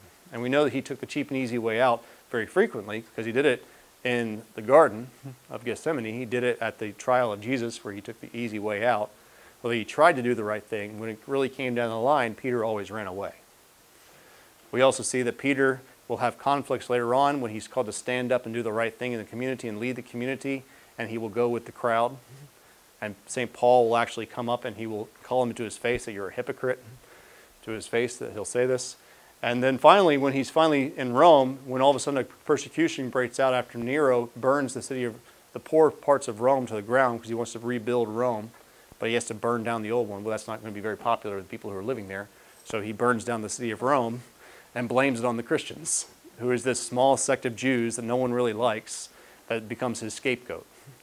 So during that burning of the Rome, after it, Peter finds out about it and is booking it out of, and you can actually still go and walk the Via Appia, which is the road where Peter is running out. And as he was running out of Rome, according to our stories, is that Peter actually saw Jesus walking, had a vision of Christ walking back into Rome. And he turned to Jesus and he asked him, Lord, where are you going? He said, what, What's going on? Where are you going? And Jesus says to him, He says, My sheep are without a shepherd. I'm going to be crucified once again and to die with my sheep. And so Peter hangs his head and turns around and walks back to Rome. And then finally gives himself and finally understands what it means to live for the sheep, to die for the sheep. Peter, do you love me? Feed my sheep. Peter, do you love me? Feed my sheep. Peter, do you love me? Feed my sheep. That he has to stop living for himself. Peter, though, that's actually a comforting thought because this is the church upon which we have been built. When you look at actually the apostolic churches, the apostolic, the largest apostolic church to this day is still the Roman Catholic Church. When people think of the word Catholic, again, this is the church of Peter. This is the head of the apostles. And you can say that Jesus chooses Peter because he chooses the weakest link. Because he's come to save the weakest link. So actually the fact that Jesus that Peter, even from the very beginning, you'll find that Peter struggles with his faith and struggles with doing the right thing, and he is the leader of the church which if you've struggled with your faith and things like that, then Peter is a good person to look to because we also recognize that Peter finally got it right and is a saint. So, Peter, the keys to which he is given, you also have Peter's brother Andrew, Andrew the fisherman, who probably actually, Andrew, a lot of people speculate that Andrew was actually a disciple of John the Baptist, which is why in one of the Gospels you'll find that, that Andrew will come and find Peter and will bring Jesus, bring Peter to Jesus, and you'll have that encounter where Andrew will bring him. Again, John the Baptist, who eventually Jesus will go, and you'll find that account in one of the Gospels as well. It says that two of the disciples of John the Baptist, as Jesus was went, and John the Baptist said, Behold the Lamb of God. Behold him who takes, behold, him. two of them will walk away. Supposedly one of them was Andrew. Andrew will go and find his brother Peter and say, Look and come and find, I found the Messiah. And Peter will come. So Andrew, being a disciple of John the Baptist, Andrew will actually end up in Greece and will do most of his ministry of preaching the gospel and preaching the church and preaching this. He will eventually be crucified on an X shaped cross. So if you ever see an X shaped cross, a guy on it, that's St. Andrew. St. Andrew is actually the founder of what the, we refer to as the Greek Orthodox Church. So if you know any Greek Orthodox, they usually have big black beards and big, huge hats. Um, they are also an apostolic church. They can trace themselves all the way back to Andrew, and therefore we know that that gospel which is contained within the Greek Orthodox Church is valid and true. Does this make sense? Now, again, we still have, again, this is in St. Peter's Basilica, St. Andrew recently. There's always been a lot of contention with the Greek Orthodox, we're going to go into a lot of that tension throughout this series of what happened with the Greek Orthodox Church. And even to this day, though, there's a lot of work towards reunification between the Greek Orthodox because we recognize that both of those are real churches. Both of those can trace ourselves back to one of the apostles, and we have been going back to that time even of Jesus. This is not the only apostolic church, though. Again, those are not the only ones. You also have actually James, the older brother of John, also called the son of thunder. We know that he also was a fisherman, and James is the one who actually will turn to Jesus and will say, when they are cast out of a Samaritan town, when they go into Samaria and they're cast out and they're not welcome, James will be the older brother who will say, Lord, let's call down fire from heaven and consume them and burn them alive. Actually, because he's also referring back to kind of this prophetic Elijah type thing, and that's where Jesus will say, No, we're not going to burn them alive. He rebuked them. James, though, again, the ambition, I'd say the fiery older brother, you also see this. Uh, is that in one of the Gospels, you'll find that James and John will come and ask, Lord, place me on your right, place me on your left. They'll be seeking glory, seeking this. So you can get a little bit of the persona as well as kind of the personality of James, what he's seeking, what he's longing for, what he's looking for, which is not quite what Jesus is preaching about. And James doesn't quite understand that as they're seeking for glory. Eventually, James, though, after the resurrection, James will probably go the farthest. James will end up actually going all the way to Spain. And you can still walk the Via Compostela to this day, a pilgrimage route where you trace the footsteps of St. James going all the way from Paris or from France into Spain. And the Via Compostela is actually the, one of the oldest as well as the most popular pilgrimage routes for Christians in the world today. Um, Martin Sheen, I believe, I believe it was Martin Sheen. Um, yeah, just did a movie on the uh, walking the Via Compostela. Eventually, he'll actually return to Judea for whatever reason. We don't know why, but we know that he is the first of the apostles to be martyred, to be killed for the faith, where he will be beheaded. Which is why James will oftentimes be depicted with a sword. If you look in religious Catholic art, or pretty much any Catholic or Orthodox art, and anytime you find a saint holding a weapon, it doesn't mean that's the weapon that they use to kill people. It means that that's usually the weapon that they were killed with. It means that they were a martyr if they're holding a weapon. Um, and secondarily, if they're ever holding a palm leaf, a palm leaf, which was a sign of that they used palm leaves as they welcomed Jesus into Jerusalem and then they killed him a week later. Any of the saints who in religious art or in statuary or in mosaics or things like that, if they're holding a palm leaf or if they're holding a weapon, it means that they were a martyr. They were killed for their faith. And so St. James was the first. John, his younger brother, also called a son of thunder, also referred to in the Gospels as the beloved. Um, this is actually how John will refer to himself in his own Gospels, um, which I think is interesting. He calls himself the beloved, the favored disciple of Jesus. Uh, he's most likely the youngest of all the apostles. He was probably about 13, 14, 15 years old at the time of Jesus. Um, he's also the youngest, and also he will live the longest. He's the only apostle of Jesus, only one of the 12 who's chosen by Jesus who actually will not be martyred not because of lack of trying, because John will eventually end up in Ephesus the, he will, they will try to boil him alive in oil according to the um, stories as well as the legends. He will survive it, which is actually, if you survived a capital punishment um, execution, by Roman law, the Romans would not allow you to be go again. Um, so, for instance, if you somehow managed to survive, it was recognized by the Romans kind of that, well, the gods granted you some type of pardon, that for some reason. And so that was part of Roman law. It's actually why St. Cecilia later on in the church, St. Cecilia, um, it was also understood that you could only hack a person's head three times. St. Cecilia, they will hit her three times and they still won't behead her. And then they, the Romans, legally speaking, couldn't, couldn't kill her. Um, and actually, that's why Cecilia will die over a period of days, agonizing and gruesomely, because by Roman law you couldn't do that. So when John actually survives, it's not unreasonable that, that John, when he actually survives, supposedly miraculously without a scratch or without a scar, this uh, uh, attempted uh, um, killing of him, he will then be exiled to Patmos. And in the exile in Patmos, that's where he will actually write. And actually, if you went, um, I just took a group of people to Greece, and we went to the cave where he wrote the um, book of Revelations, um, as well as uh, possibly the Gospel of John. Eventually, we'll return to Ephesus, where he will die of old age. But again, being in Eph- Ephesus as well as Smyrna, he will establish churches in the islands as well as in um, Turkey and Greece and eventually in Patmos, where he will go. And he will also be the last apostle who will be writing, which is why people are starting to ask deeper questions later on, and they're also starting to challenge fundamental things that, that the apostles have, that the church have been doing for a while. One of the main things that people are starting to challenge is the Eucharist. Is this actually the body and blood of Jesus? That's already a big, huge thing. And we know the Eucharist was a big, huge thing in the early church because all of the early art, all the early mosaics, all depict the Eucharist. It's a common theme. But people are already starting to deny and say that this is just a nice thing we're doing. And that's why John, actually, in his Gospels, will go into great detail defending actually the sacraments. All the sacraments which are doing, which is why in John's Gospel you'll find all of the sacraments laid out, not just what they are, you'll find what the sacraments are in the other Gospels. You'll find why in John's Gospel, because John's defending them, especially for his community, because people he's living in those areas where people are starting to already deny the realities. St. Philip, again, kind of a realist. If you look at any of his actual right, uh, the few encounters we have with Philip, um, he's the one who'll say eight months' wages is not enough to buy even everyone to have a bite of bread. Um, he's also the one who will say to Nathaniel, Nathaniel will say, Well, what good can come from Nazareth? Nazareth is a backwater city. And he'll just say, Just shut up and come and see. Just come and see. Um, which, again, Philip, we know very little about him. Again, that's where, he, again, if you know me, you'll know me. Philip's response, Lord, shows the Father, and that'll be enough. Philip, don't you know me, even after I've been with you such a long time? Philip, actually, if you want to know where the T shaped cross, because Jesus most likely was not crucified on a T shaped cross the way that we oftentimes depict him in art.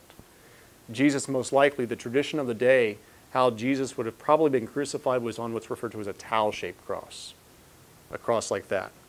The reason why we even have a T-shaped cross and why we use it is because there was actually confusion.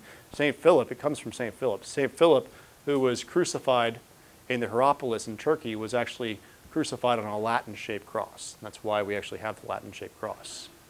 Um, also where the tradition of the Latin-shaped cross comes from, because Jesus was actually probably, that's why the Franciscans, St. Francis went back to using the tau. If you ever looked at the tau, that's probably, we can't really verify for certain we don't really know exactly what type, because there's different types of crosses that the um, Romans would do. If they had more time, they would put more effort into it. Sometimes a cross just consisted of you being staked to a tree. But if, again, with Andrew, it was an X, again, different themes. Usually what was most convenient at the time was what they would use. Um, so, again, but actually there's no church which actually still can trace themselves or attempts to trace themselves back to St. Philip. Some of the early apostles, their churches were possibly destroyed um, or they didn't survive. But actually, there are some who do. You have St. James. Again, there's lots of different names for James, although we don't know if these are three different individuals or just one, but there's what's referred to as James Minor. Um, James was possibly a kinsman of Jesus, and he's the first bishop of Jerusalem. He's also referred to as that, that apostle who was actually taken to the parapet of the temple. It's referred to, and he was actually thrown from the parapet of the temple eventually and that he was crushed, which is why if you look in artwork, James will oftentimes be depicted but he actually survives the throwing off of the temple parapet, and they will beat him with clubs to death. Which is why James will oftentimes be depicted with a club.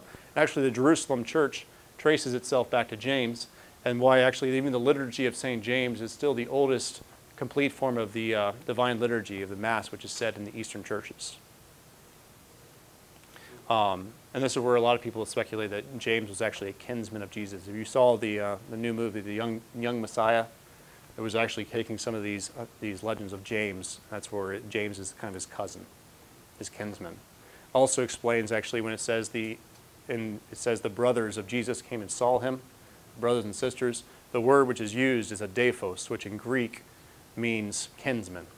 It can mean brother, but actually it also means cousin. That's why a lot of people will associate James as being a cousin of Jesus.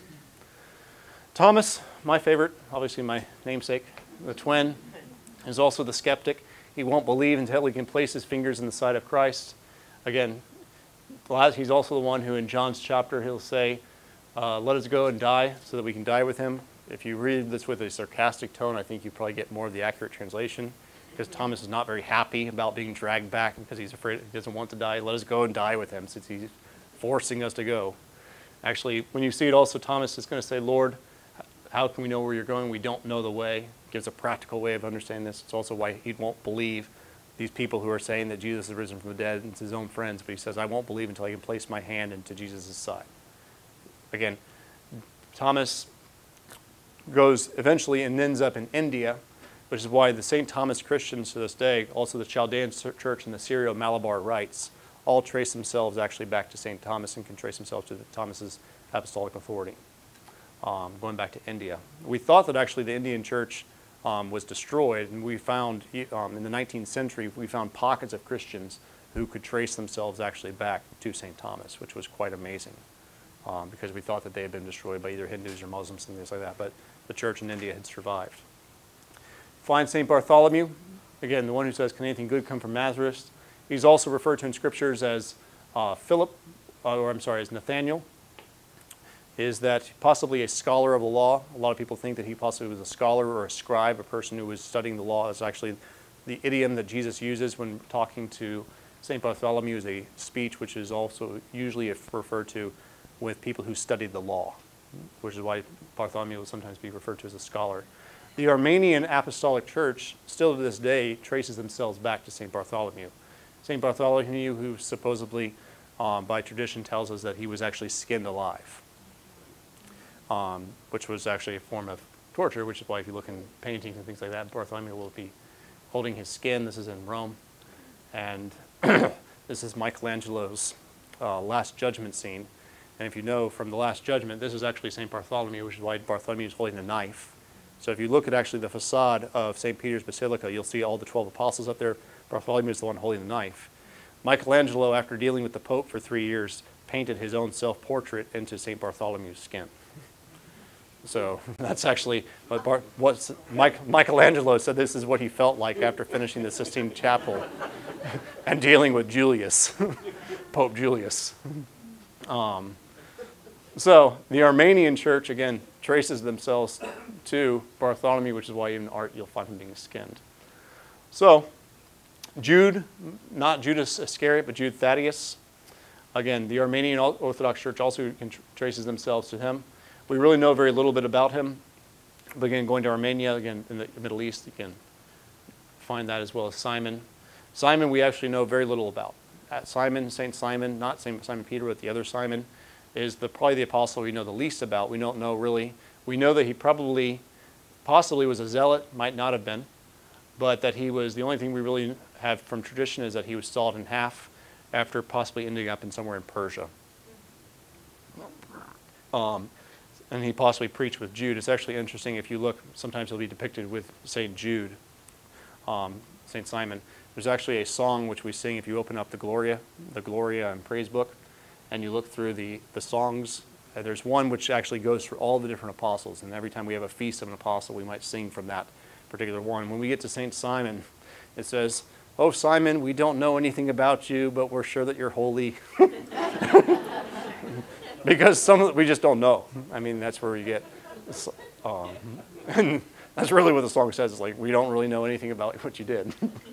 except that he ended up somewhere in Iran and that those churches didn't survive. Matthew, the tax collector, Jesus chose all of his apostles. You'll notice something about all these men. They all came from various different walks of life. They didn't just come from one particular grouping of people.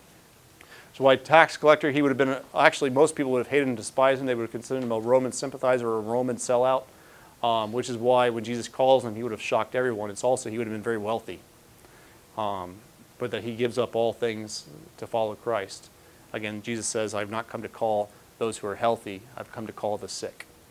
And so Matthew will go out. Matthew will obviously be one of the gospel writers who will leave behind the gospel, and his community will preserve the gospel of Matthew and Matthew will eventually be killed by the sword.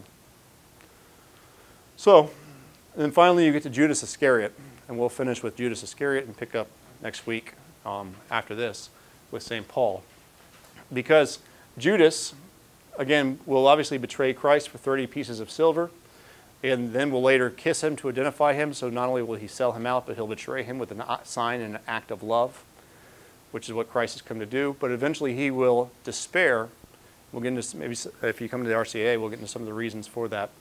But Judas will eventually commit suicide, and he will die. You can read this about in the scriptures. But when, if you look at the Acts of the Apostles, one of the things that will happen is that they recognize that now there is only 11. After Jesus has ascended into the heavens, the apostles recognize that there is now only 11. And so, as a result of this, they will meet together and they will pray with one accord with Mary, the mother of Jesus, in their midst, with his brethren and that they will say, stand up. Peter will stand up, speaking on behalf and speaking to say that we need to replace him. We need a new leader. Um, and so, what they will do is that they will reference scriptures that at the bottom you say, Let his habitation become desolate, there will be no one delivered, let another take his place. So, as a result of this, you will have the replacing of Judas Iscariot, who is now dead, with Matthias. Matthias, again, you could say he's the understudy because there's two people who are doing it. I find it very interesting the way that they elected people in the early church, at least at the, the first apostle who's elected. The way that they elect him is by gambling. They basically cast lots, which was a form of gambling, to basically see who, which one the Holy Spirit. Sometimes I've thought that maybe the church should go back to that form for choosing bishops and priests and things like that. but either way, they will cast lots to determine who will take Judas Iscariot's spot because they recognize that they need a new leader that they need someone to come in and take that. Matthias will replace him. Matthias will eventually be stoned in Jerusalem and then beheaded, which is why Matthias will be depicted with an axe. But the choosing of Matthias shows several different important things which will also have a huge influence in the early church. The choosing of Matthias shows one, the authoritative status, to one, choose other people, as well as that the first one is that just because you have been chosen doesn't mean you're going to be holy. Just because you are chosen and you were chosen by Christ doesn't mean that you're all of a sudden going to get it all together. Because you will find even people in the early church, because a lot of people, in terms of the Catholic Church or any church, have this very accusation that they say, well, why should I go to church? It's filled with hypocrites. I mean, doesn't this disprove the validity of the church? Doesn't this, the very fact, if the church was real, then its members should be holy. That's a very, that's often, I'm sure most of us in this room have probably heard that from some fashion or form from some person. This right here is a case and example from Scripture itself that just because a person is chosen, even a person is chosen and given an, a huge place in the kingdom, some people have difficulties with the church in terms of corruption. Various people who have seen bishops or priests or different leaders in the church making mistakes and say, this disproves, this has to disprove the church. We see that Jesus himself chose a man who betrayed him. Jesus himself chose a man who denied him, who sold him out, and who then committed suicide, who did terrible things. So just because a person has a leadership position in the church doesn't mean that they're necessarily going to be holy, because they still have free will. They still have a choice. And we see that actually from the foundation of the church, you have problems, even at the beginning of the church. And when we see problems in the church, this shouldn't be something which tests or likewise undermines our faith. It's actually, I'd say, demonstration of actually the real church. Because if you find a perfect church, I would venture to say that's not the church that Jesus Christ established. and I'd venture to say you will never find a perfect church. So two, so one, there's problems from the very earliest times of the church, But two, by the very fact that they choose someone to replace Matthias, demonstrates and shows that the apostles have the authority, at least they see themselves as having the authority, which Jesus gave them by the power of the Holy Spirit in chapter 16 and Matthew 28, but that they have the authority to replace and to confect and to transfer authority to others. Now, this is a big, huge, this is the only reason I bring this up because this is also a big question is, did the apostles, okay, well, Jesus most certainly chose the 12, you can't deny that, but did they have the authority to pass on their authority to others? We see it from Scripture. We see it from the very beginning of time because this is actually something which the Mormons, who are not Christians, Mormons will actually level against traditional Christians, especially the Catholic Church. They'll say, okay, well, Jesus had authority. Jesus gave the authority to the 12, but the 12 did not have the ability to confect and to bring it and to pass it on. But from Scriptures we itself, we see that they do have the authority to pass it on. But this idea also of the transmission and use of authority, as well as who has authority in the early church, is going to be a huge hot button issue, which is actually why in the early church writers, especially like um, Irenaeus or in people like um, Justin Martyr, they're going to be talking about authority a lot because people are already starting to challenge authority in the early church, which is actually why you can say Luke actually makes sure that he inserts this into Acts of the Apostles. Because already at the time of the, of the apostles, there's already questions of authority because obviously, as the Catholic Church, it is the single united Christian institution in the world, and authority is a very big question. It's a very big issue. Um, the use of authority, as well as in the early church, how that authority has been used, and what that authority's purpose is for. Um, but just because you're a 12, actually, there were more apostles than just the 12. And St. Paul is an example of this, and we'll come back to St. Paul next week. So let's go ahead and close for the night with a prayer, and we'll be up here next week. In the Father, the Son, the Holy Spirit. Amen. Heavenly Father, we thank you for this time to come together tonight. We ask you to keep us safe on our way home, to give us a restful night, help us to rise again refreshed and joyful in the morning, to praise you tomorrow. And Lord, help us just to see in your life where you're acting and moving and guiding us to be greater witnesses of the gospel so that we can go out like the apostles and preach the good news and transform our nation, transform our families, and transform the world for the power and the message of your love. We ask all this through Christ our Lord. Amen. Father, Son, Holy Spirit. Amen.